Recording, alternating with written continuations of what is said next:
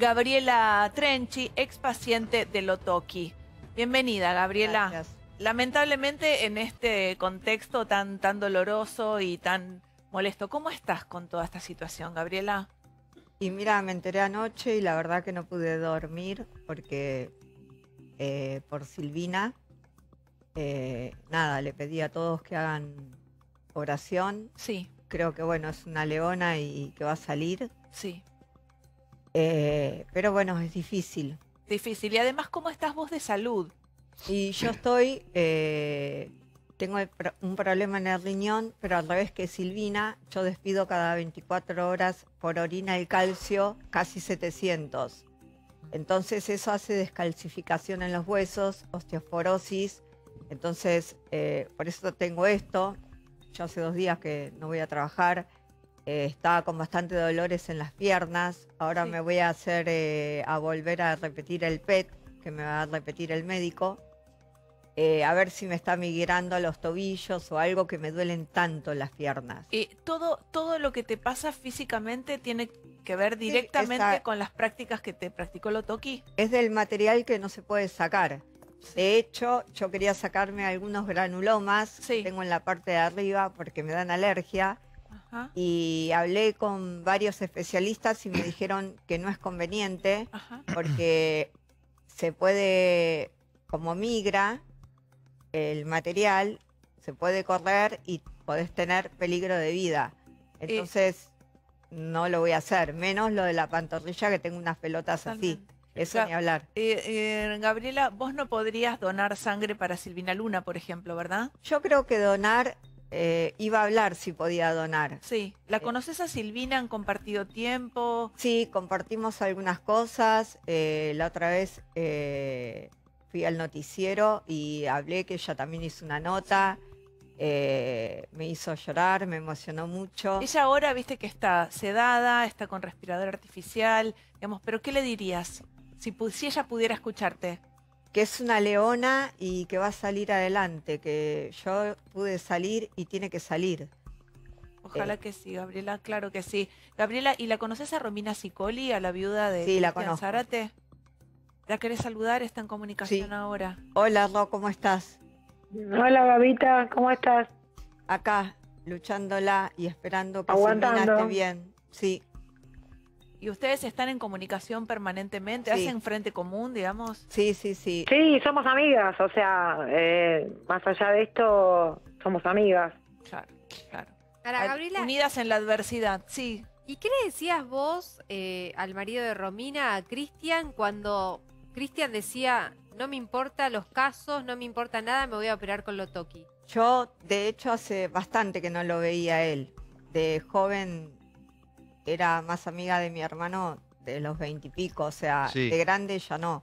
Mm. Eh, pero bueno, por eso me impactó cuando me enteré de la noticia, eh, por el apodo que él tenía, y ahí quedé como en shock porque después, bueno, me comunico con Romina todo y me entero lo que pasó y es una carnicería, lamentablemente. Gracias que le cambiaron la carátula.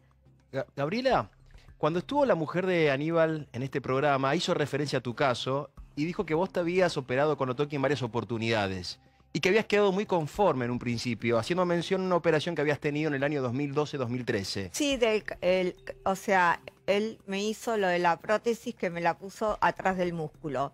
Pues solo eso. ¿Qué pasó después donde vos sentiste que estabas quizás entregándote a una persona que no era tan profesional como él se vendía? No, yo creí que era cirujano plástico. Y después fui por hilos tensores. No le pedí que me ponga ningún material. ¿Vos firmaste Sí, está en la historia clínica que dice hilos tensores. De hecho, está tachada con liquid paper porque él dijo un horario que me dio de salida y me la dio a las dos horas y es como que arregló el horario, como arregló la historia clínica de Cristian Zárate. ¿Vos decís que modifica sobre la marcha los documentos? Y donde puede los hace desaparecer. En la mía alcanzaron a allanarla. Lizardo eh, logró allanar, hacer que hagan todo enseguida. La clínica no estaba habilitada. Eh, no había anestesista. Y está retocada. Pero Yo fuerte la tengo en la foto. Hacer desaparecer los En expedientes de en el caso de. Zárate, De un hubo- montón está hace imputado por falsedad ideológica, que es truchar la historia clínica del paciente, lógicamente previendo que se le viene la noche, ¿no? Por suerte la fiscalía ha trabajado bien. Y, Por y tiene Una, suerte. impu- una imputación severa, ¿no? Que Pero debe él estar se bien cree, él se cree, Sí. Gabriela, ¿vos sentís que él se cree impune? Porque sí. digo, es una persona que a pesar de todas las denuncias que tenía, siempre siguió tratando a sus pacientes en clínicas, por ejemplo, que no estaban habilitadas. Entonces, evidentemente, él se cree impune. Eh, mira, eh, yo en todas las clínicas que lo opera, opera que alquila, generalmente algunas no están habilitadas, otras sí. En una que hicieron una inspección en San Andrés, sí estaba habilitada. Eh, le paga, como cobra en dólares, y los dueños de las clínicas agarran la Sí, plata. me dicen que habría operado hace un mes y medio. La verdad que uno no entiende, digo, siendo tan medio. público, teniendo una condena, ¿cómo la gente Bueno, se anima? ¿Qué le decís, Gabriela? No, y ahora hace dos, tres semanas yo tengo una persona conocida eh, que la novia tiene una amiga y lo, le operó la cara, que le cobró bastante, en una clínica en Olivos, que no sé cuál es. Y le operó la cara, ¿qué, qué le hizo? No sé qué le hizo, pero sé que él decía, porque hizo un video que no iba a operar más, Sí. Claro. y a la semana me entero que se operó Que no tenía chica. trabajo. ¿Qué le ven a lo lo que había toqui, dicho Gabriela? No, ¿Pero además, además No, su mujer, perdón pasa- Gabriela, pero su mujer estuvo acá Sí. hace poco tiempo hablando de lo deprimido que estaba Lotoki. Mentira. Y no, no, pero digo, si un cirujano plástico o un profesional o cualquier persona está bajo una depresión, digamos, no puede desenvolver Mm. naturalmente y normalmente sus actividades. Digamos, es raro que siga operando. y Gabriela no ya- le cree ni un poco, ¿no? ¿Por qué no crees que esté deprimido? No, porque sé lo que está haciendo. Hace un video y a las dos semanas está operando. Lo que pasa que él le dice a la gente, él opera en un círculo muy cerrado sí, de las que se operan ya con él y que se siguen retocando con él. sí. Entonces es como que filtra Bueno, y solo deja que vaya esa gente y con los familiares de esa gente y nadie más, uno- para que no se filtre. Ajá. Pero él sigue operando y Sí, cobrando bastante. Pero Gabriela, y evadiendo que la evasión fiscal queda de lado. Se ve que es que si uno analiza las redes sociales, el último posteo es de ocho semanas, dos meses atrás. Un posteo público que cualquier persona puede ver si se mete en el Instagram de Lotoki, donde se ven diferentes tratamientos, diferentes cirugías. ¿Qué le ven a Aníbal Lotoki para poder, entre comillas, ser parte de sus pacientes? y para mí la agarra a la gente vulnerable, hoy la gente no está viviendo bien ajá. eh, y quizás eh, te endulza los oídos, eh, pero lo peor es que te hace aparte cosas que no le pedís. Bueno, Claro, ese es el punto. Eso es tenés- Varios Eso es lo grave. Eso es o sea, delirante. Varias de Eso las es víctimas delirante. detallan eso, ¿no? Sí. Pamela también lo dijo. Pero yo cambiaría el foco. No qué le ven los demás, sino qué tiene él en la cabeza para seguir ofreciéndole a gente y terminar convirtiéndolas en víctimas. Ese es el porque- Instagram. y es perverso. Perverso que decís es que bueno. es. Ahí, ¿no? Ac- Acá, eh, sí, Para estamos- mí es perverso, como un cirujano que él nombra que está en Brasil. Sí, Yo lo- estoy en un grupo de mala praxis de Brasil, que hay varios cirujanos presos ya, gracias a Dios. Y mm, él lo tiene como un, si fuera un ídolo, al que nombra siempre. sí. Y bueno, es igual o peor que él. sí. Sí. O sea, su referente también tiene, eh, digamos, causas por mala praxis. Sí. Bueno, eso ya habla un poco y de... hay varios cirujanos presos en Brasil. Enseguida, enseguida continuamos, enseguida continuamos. Perdón, compañeros, compañeras. Hay un posteo Exacto. que hizo eh, Aníbal Totoki, es el que mencionabas vos Este es hace dos posteo- meses. Este es un posteo que es para el hombre. A ver, vamos a buscar la estética masculina porque justo la tenemos a Romina, que es viuda de una persona que entró a la clínica Lotoki quizás buscando el abdomen perfecto.